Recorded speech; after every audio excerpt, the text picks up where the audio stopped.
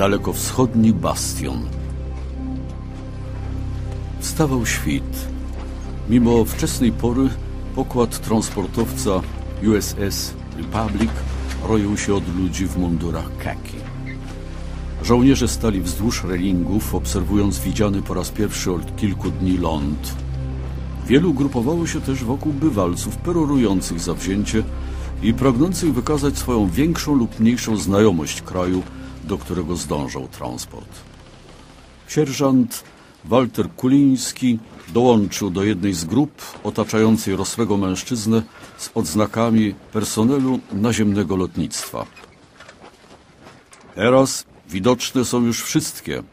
Patrzcie uważnie. Ta pierwsza tam daleko to Lamonia. Największa nazywa się Corregidor.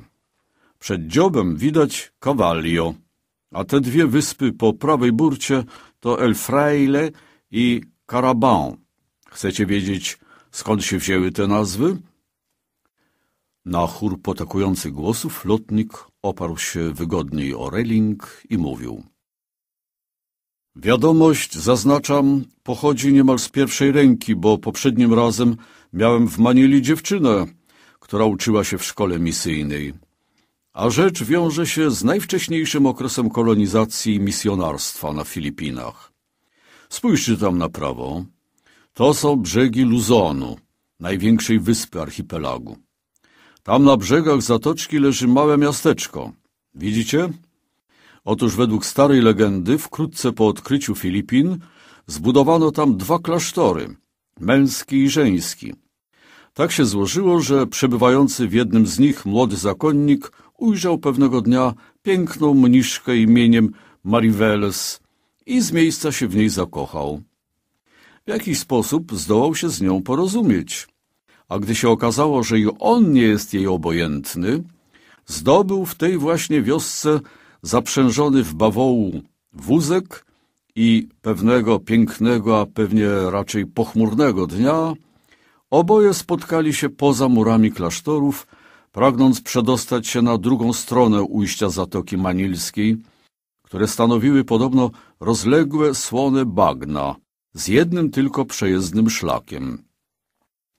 Lotnik przerwał na moment, sięgnął po papierosa i zapalił, zaciągnąwszy się głęboko, podjął po chwili.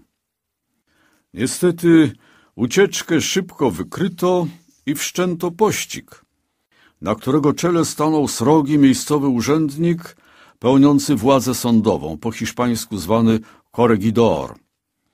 Zbiegowie musieli wkrótce porzucić powolny wózek i próbowali uciekać dalej pieszo, ale nie mieli szans z jeźdźcami, którzy najpierw doścignęli próbującego ich powstrzymać zakonnika. Gdy zaś koregidor zbliżał się do mniszki, nastąpiło trzęsienie ziemi. Uważajcie, chłopcy, to częsta tutaj rzecz. Fale wdarły się na bagna i zatopiły wszystkich.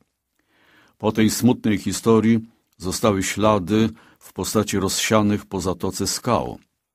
Dlatego widać najpierw Carabão, to hiszpańska czy może portugalska nazwa bawołu, potem El Fraile, czyli braciszka zakonnego, Cavallio, a więc konia, Corregidor, no i wreszcie Lamonię, mniszkę.